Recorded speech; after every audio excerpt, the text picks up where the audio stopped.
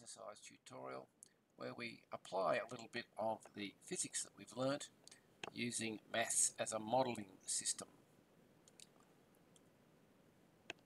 So again how this tutorial operates is four simple steps. You play the video and I pose or ask a question then you need to pause the video and have a go at the exercise. Then continue the video and I'll give you a hint to help if you haven't already been able to do the exercise. Then next step, step three, continue to play and I will give you the answer but more than that I'll show you how we got to that answer. Then step four, continue the video to the next question. So let's get underway. Question one. What is the capacitance in microfarads of a capacitor which stores a charge of 0.00034 coulomb when supplied from a 6 volt battery. So pause your video here.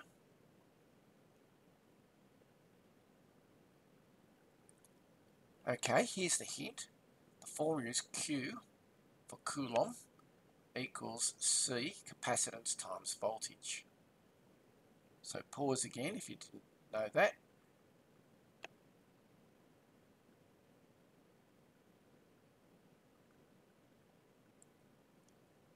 So in this particular case, we need to transpose that equation. So uh, Q equals C times V gives us a transposed equation of C equals Q divided by V.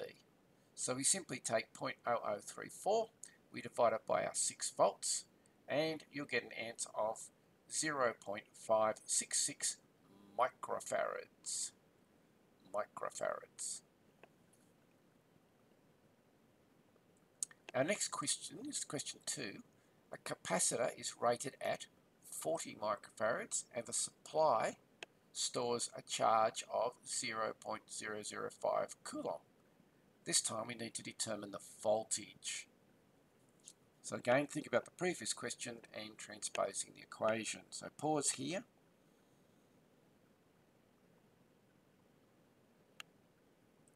Here's your hint. Q equals C times V again. This time we transpose the equation and we make V the subject of the formula. So V equals Q divided by C. So we take our Q at 0.005 coulomb divided by 40 times 10 to the minus 6. That gets us into our farads and you'll find it comes to 125 volts. You should have got 125 volts. Q3, question 3. A capacitor rated at 30 microfarads and the supply by a voltage of 100 volts, calculate the charge. So pause here.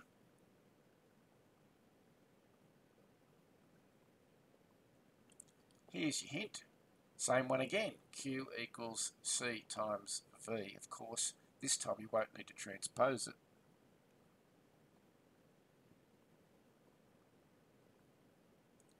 And here's the answer. Q equals C, C times V.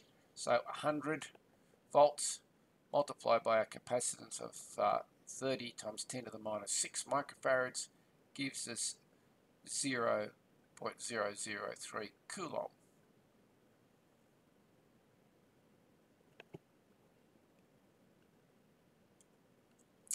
Question 4. A circuit has a 20k ohm resistor and a 6.8 microfarad capacitor in series across 200 volts DC. Determine the time constant and the current after five time constants.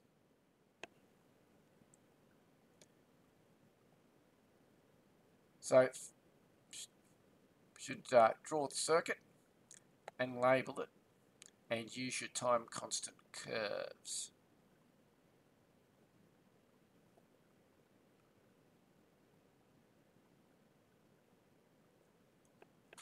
So in this particular case, the time constant is 20k multiplied by 6.8 times 10 to the minus 6. Our time constant is 0.13 seconds. So at 5 time constants there will be only 7%. So we're going to multiply by 0.7. So full current is volts divided by R. So we find out what our full current is and we find that the full current is 0.01 amps. So we take our 0.01, we multiply by 0.007 and we end up with 70 microamps after 5 time constants. Remember in this particular case, we were going down where the current is going down. Question 5. For the circuit below, determine the time constant and approximate time taken for the capacitor voltage to equal the supply voltage.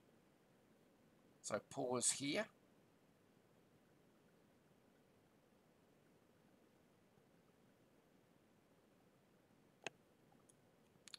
So hint, draw the circle, label it, use your time constant curves again.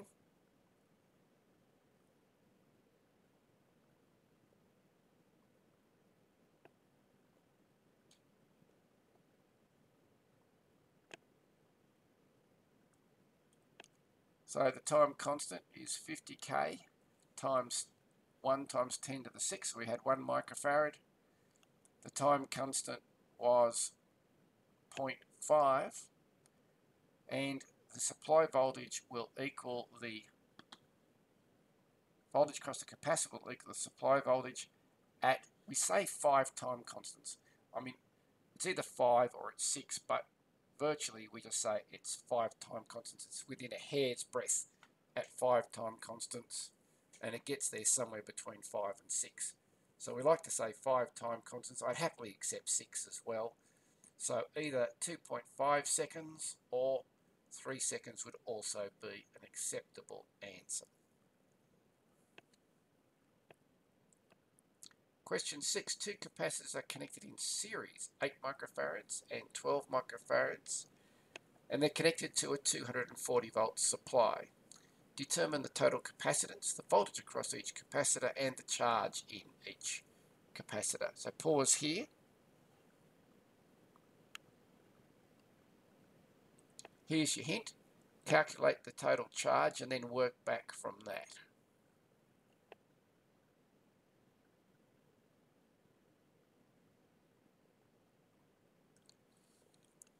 Here's the worked answer. I'll just turn my um, pointer on.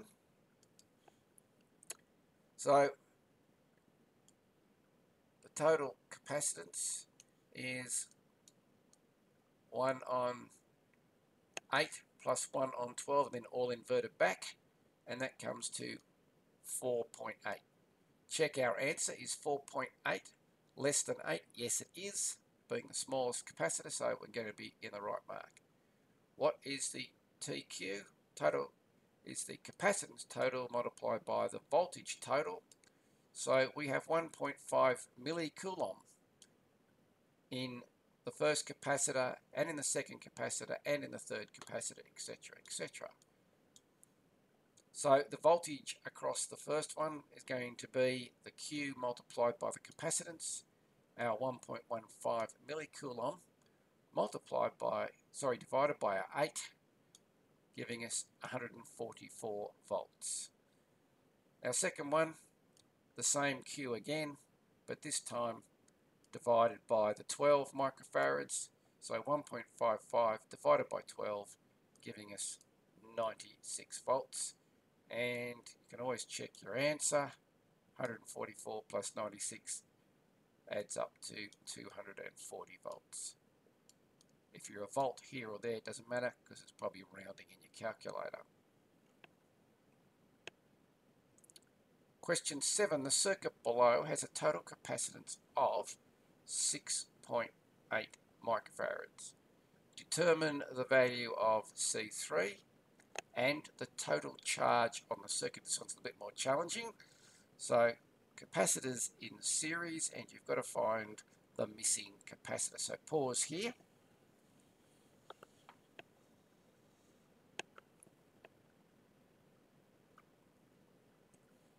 So here's your hint.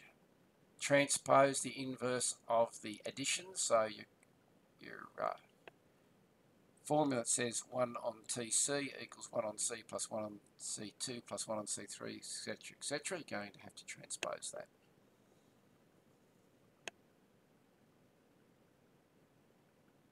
So continuing now, here's the answer.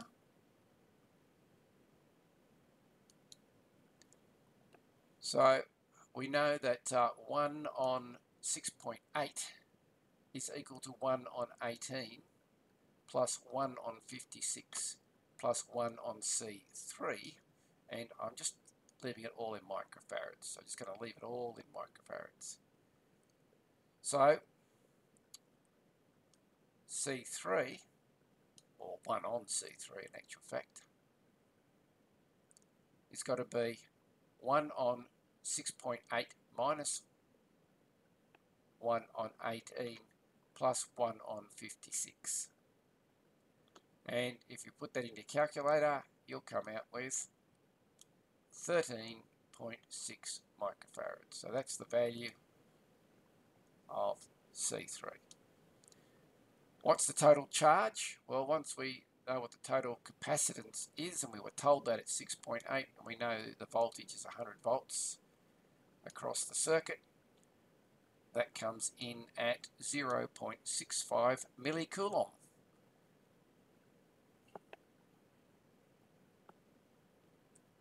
So question 8. Three capacitors are connected in parallel this time. 0.1 of a microfarad, 0.33 and 0.47 of a microfarad. They're connected across a 9 volt DC supply. Calculate the total capacitance the voltage across each capacitor and the charge on each capacitor. So pause here while you have a go at that. Here's your hint. Total capacitance equals C1 plus C2 plus C3, etc.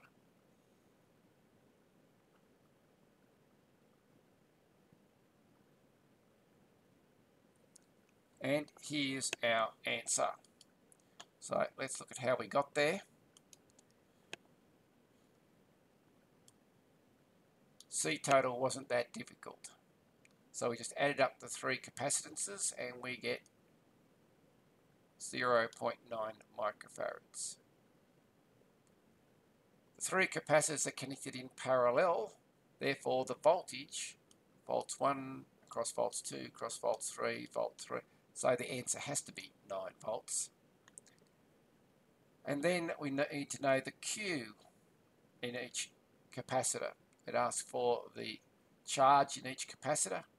Remember Q equals volts total times the capacitance. Well, we know we've got 9 volts across each capacitor, so that's reasonably straightforward. We know the capacitance value for each, and we simply multiply that by 9, and we end up with 9 microcoulomb 2.67 microcoulomb and 4.23 microcoulomb.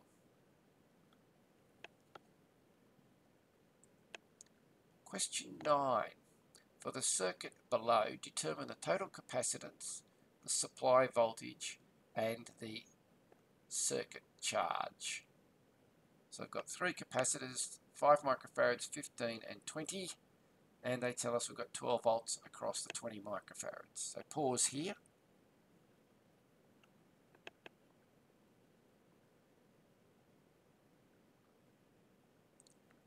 Here's your hint.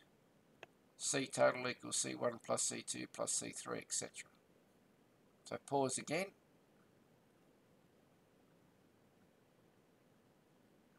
And now your answer. Again, it's just a matter of adding up the three values, 15, 5 and 20, giving us 40 microfarads total. Of course, we know volts total equals the voltage across V3 as well as the voltage across V2 as well as the voltage across V1. So if the voltage across the uh, C3 was 12 volts, it has to be the supply voltage. And then the total charge is simply TQ is the capacitive total multiplied by the voltage total.